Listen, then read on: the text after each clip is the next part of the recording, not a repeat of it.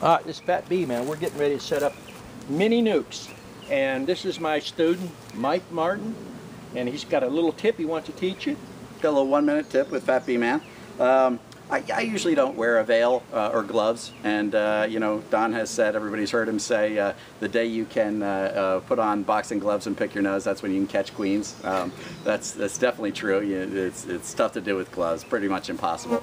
But um, you know, we, we're in and out of a lot of hives here, and uh, once you get stung several times in the face in a day, you know, I mean, you could have 20 hives that are gentle as can be, and, and then and then have a fussy one, um, get a couple bees on your your eyelids and lip. That's no fun. Nobody likes that. So uh, except for Don, maybe. So so here's a little one minute tip. Um, I uh, stingless bees though. stingless bees, yeah, yeah. Uh, so you know what? Actually, what happened to me is I got stung in the eyelid, and uh, and it swelled, and it was actually affecting my vision a little little bit because it looked like there was something in my line of sight and it was made a little tough to spot queens. It was a little disconcerting.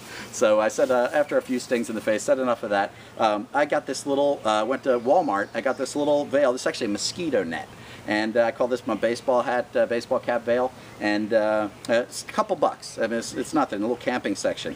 So, so check this out. I just keep this in my pocket, and, and when the need arises, you know, I just take it and throw it over the, the hat, and uh, like that that's all I need. I, you know I don't like getting stung in the fingertips but sometimes that's a necessary evil. I, I don't I'd, I'd, rather not get stung in the face if at all possible. It's really just because of the swelling you know I don't even mind the pain. And for two bucks you can't go wrong. Exactly exactly. veil. it works great. It works great. My whole veil you know having the whole thing the whole you know big uh, you know uh, bulky thing that's that's that's not doable. But so then, when I don't use it, you know, 90% of the time when I don't need the thing, I just like, uh, you know, kind of twist it up like this, tuck it under, you know, it's a little bit stylish even. You know, Don might get one. It's even more fashionable than using an onion sack over your head, yeah. which I had to do at yeah. times.